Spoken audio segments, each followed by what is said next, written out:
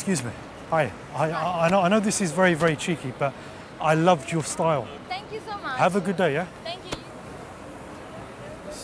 Okay. Right. I know that one's that one's a bit more difficult, and I'll, I'll Yeah, They'll, they'll, we'll we'll go into that. But how?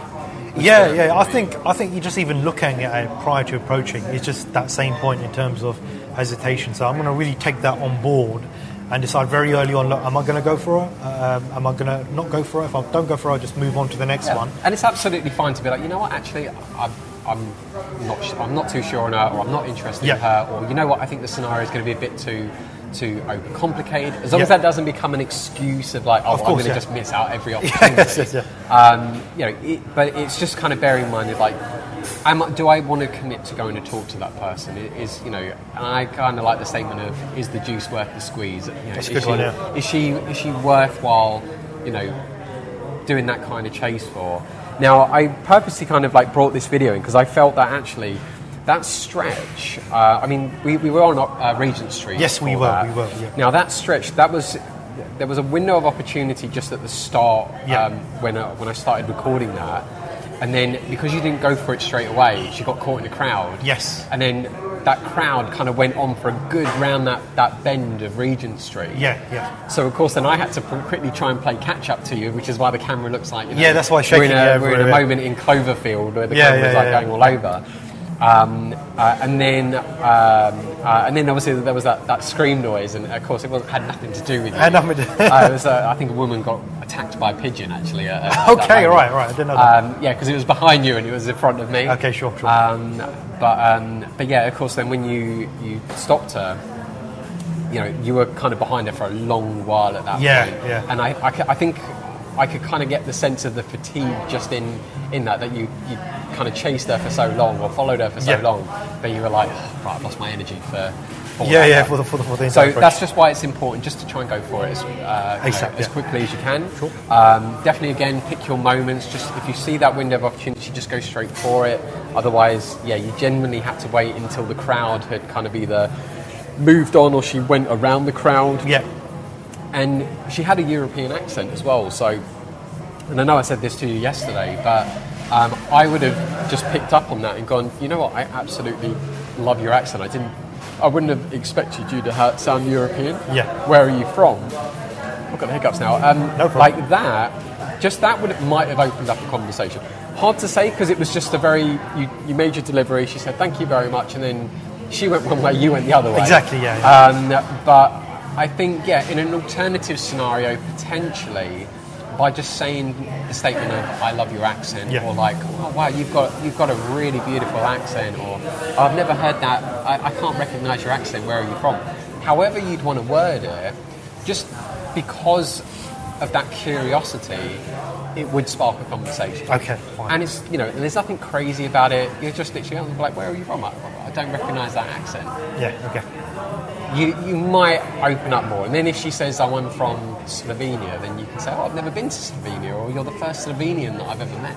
Okay, okay. Are you friendly? Like, like Yeah, yeah, what's, yeah, yeah. What's you the situation? yeah, something like that. And even then, you've got questions so like, what are you doing in London? yeah. Yeah, it, it, you can kind of then expand stuff, and then she might say like this or that, and then you can ask more questions. Yeah, absolutely. Stuff as well. I got you. Um, it's a bit like actually with the uh, the uh, the Indian girl. I mean, she said that actually she was in London for only two weeks. Yeah. um, as well. So, um, because of then discovering, you know, just through very simple topics of conversation, you can get a better sense of what the scenario is and Sure. actually, you know, is there an opportunity for a pursuit or not? Yeah. Um, so yeah. So does that cut? That No, kind no, of make it, sense? it makes a lot of sense. It makes a lot of sense. Just essentially, just be very, very quick with the approaches, which I, th- I think will do wonders. Get in front, full, full commitment, and also just listen to what she said. You know, she, she had an accent, so just, just go upon what you hear and listen. Yeah, yeah, and you know you don't have to then like start thinking like, oh well, when I when I saw you, I was thinking like, oh, you look like you might be a fashion Yeah, yeah, model. Yeah, it's, it's, it's too much sometimes, Yeah, and, yeah, it, and course. it also puts you on the spot to try and be creative. And if you're not necessarily in the mood to be creative, or if you haven't thought about something prior to what you were about to ask, it can be very difficult. Yeah. But then, what can be a really good exercise for you, especially if you do go out on your own?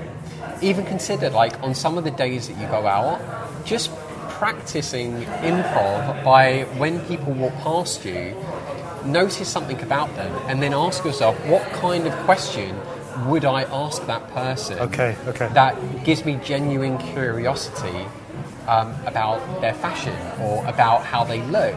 You know, do they look European? Are they? Did you hear an accent? Maybe, maybe they walked past and they had a perfume that Yeah. you were like, wow, that is a really nice perfume. And you go back and say, you know what, you are absolutely gorgeous. Yeah. Your perfume is amazing. What, what, what are you wearing? And they go like, oh, I'm wearing this, and you're like, oh, you, you were you came out today to purposely try and pick up guys, didn't? Yeah, yeah, yeah, That kind Make of it more like- playful, yeah, yeah, yeah, yeah, yeah. So you know, suddenly that can kind of make the, that playful situations um, play out. But then there's nothing crazy in that. Just Yeah. curiosity. Curiosity, yeah. Literally curiosity. So, but yeah, does that make, make sense? No, it makes sense. That's, that's a quite a good ex- exercise. Just looking at how, how people are dressed and just thinking about what questions you can possibly ask Yeah, and, like, it. you know? sitting in a coffee shop. I mean, you could like watching people walk by. You could say, right, what what guess could you make about the guy with the uh, the red? Yeah, he's just potentially a personal trainer or someone really kind of into the gym or looking into fitness. That's from what I can tell. He's got like a red, blue kind of Sports Direct kind of logo thing. Maybe maybe he's just come from work. Yeah. Um, yeah, maybe he's just gone to the gym. Maybe he is a personal trainer. Maybe he's a, he's an entrepreneur. Maybe he's a billionaire. He might be a You billionaire, know, you know? he, and he's just literally casually strolling down the street. Make him You know, feel normal, right? yeah. So, but these are then things you could be genuinely curious about. Like, if, Yeah. okay, I mean, he's, he's a guy, but if you were then to be stopping him, you say, mate, you know what? I really like your style. You look like you must be like a billionaire on your day off. Like, Yeah, yeah. What, what's the situation? And, and he'd, he'd have a laugh and he'd probably say, like, oh, yeah, you know, I've just come from work or, you know, oh, you Yeah, know, I work seven days a week.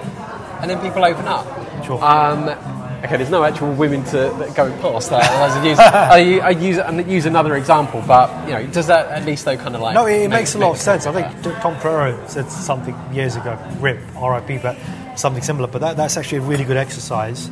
And so improv is really important. I've Yeah. gone to a couple of classes, haven't pursued it uh, And properly. it doesn't even have to be any. Well, you don't even have to go as far as a class. It's Yeah. just more or less thinking like, when you're when you see someone, what would you like to ask them? okay. Um, what, and, and it's easier to actually ask a question than to sometimes make a statement. Yeah. Because if you don't know what kind of statement to make, Yeah. then it means that you just haven't been given a topic for you to be able to improv on. I got you. So once you've got the topic, then you can ask a question. So like, you know, we said about the guy looking like a personal trainer. Or, okay, with this woman walking by, what would you, what kind of guess would you make? her? She's, she's got a kind of Californian vibe, so she's got kind of a blue, kind of um, white pants, kind of relaxed, Yeah. baggy. Like maybe she has like a villa by the uh, the sea. Or Yeah, yeah, yeah. Villa by the sea, smokes weed, relaxes, you know, chill. So that would be Yeah. potentially a statement. So, you, excuse me, I love your fashion. Yeah. I, I really kind of like this Californian vibe that you've got, but I got to ask, are you American? Yeah, yeah. And then she might say yes, and be like, oh, I know it. I know. it. Whereabouts in America are you from? And then she'll say, oh, I'm actually I'm from New York. And you can go, really? I would never have guessed New York. I would have thought you would have been on the West Coast rather than the East Yes. Coast. Okay, all right. How, how, as in, as someone from New York, how have you got such an amazing fashion? Yeah. You know, Simple as that, Yeah, and it gives her the opportunity to open up, and also uh, it allows her to invest a bit more in the conversation, rather than you having to do all of the work and trying to like guess and be like, oh, actually, yeah, you also look like you might be a trainer, and then you Yeah, might yeah. also look like you own a yacht. And All of this, yeah, yeah, it's too much. too It's too much, it's too try hard, and then it puts even more pressure on you because essentially you're kind of becoming the entertainer in the conversation. Absolutely, yeah, yeah. Um, and, and that's not what you want. As soon as that, you start feeling like you're going down that path, yeah. it, I can honestly say it makes it a lot more difficult to try and get a result because then when it comes to asking for the number, it, it might also be just for entertainment purposes. She might not see you in that attractive way Yeah. unless there's that feeling of that. I, I got you. So, so yeah, that's just something to consider at least with that. So, Yep. ready for the headphones? Yes. So, if you want to put them on.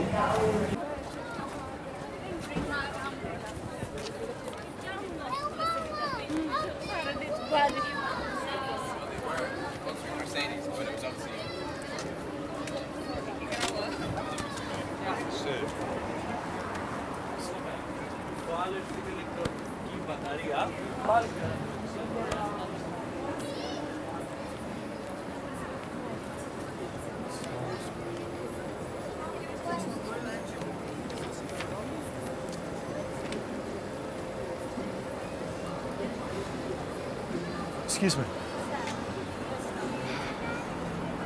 I didn't really get attention on that one. Yeah. I don't think Yeah. at all. Al- so- Also, as you went to kind of do the authority stop, your hand was very low down. okay. So um, people aren't necessarily going to be looking down. And also, when you speak lower and quieter, uh, especially at that angle, um, it's yeah, no one, no one's really going to stop with that. You have to get certainly a lot closer, Yeah. more in front.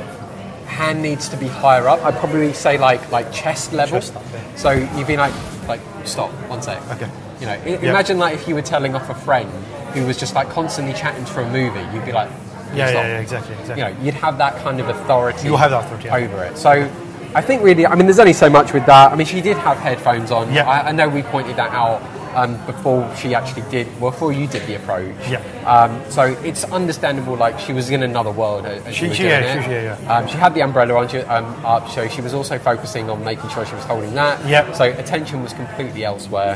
Um, but I think yeah, just those small things. Hand a bit higher up when you're going to stop. Um, definitely, uh, I'd probably say just smile a bit more as well, Yep. um, and also just get more in front. But we've kind of already said with that. Yep. Imagine she's dropped her wallet or she's dropped her keys or something important, and you are getting her attention so Sure. you can give the item back Absolutely. to her. Um, and yeah, that's that's probably all I would say really with that one. So if you want to headphones on again, Yep. so five fifty.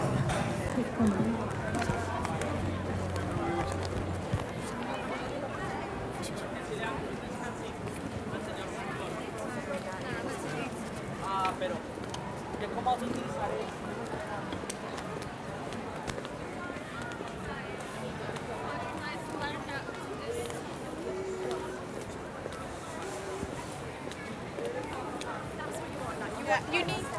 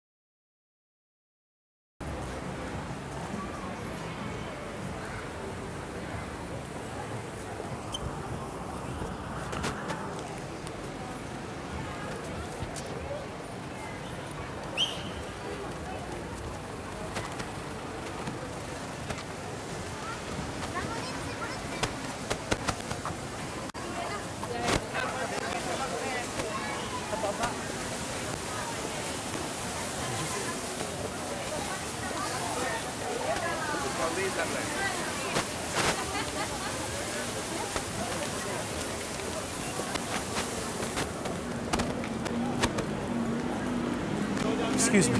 Hi. Uh, I know this is. Um... That's funny. Just that was a blowout. So Yeah, so I think really just the the, the main reason I, I kind of definitely had selected that Yeah. was essentially that it was just uh, the the follow pretty much went on for too long. Yes. and then there were moments that you were definitely just way too close, Yeah. uh, and you should have just gone for it. Like uh, I thought it was funny that you had the stretch before she crossed over the road on Yeah. the first bit, and then on the other side of the road she'd gone up to the traffic lights. And you essentially you managed to go all the way up to her and stand like right next to her almost. Yeah, yeah, yeah. And didn't do anything there. And then you cross over the road, and then it was super crowded. So then you waited a little bit longer. yeah, yeah, yeah. It's just Um, hesitation. I Yeah, and then when you went for it, she just wasn't interested. Yeah, sure. Anyway, so yeah, if, if anything, I think just the main thing with that again, go quicker. Better just to kind of find out as soon as rather than wasting all that time Yeah. with, with the approach. Because I did, I just thought it was funny that just how much you cross literally two roads. Yeah, yeah, yeah. To just get there, no, thank you. Yeah, yeah, yeah. Um, and I think as well, like it kind of kills your energy when you, you're following someone for so long. It that does, was a good yeah. two minutes. Sure. That was. So um, I think yeah, just being a bit quicker with the decision, especially as soon as you see the window of opportunity.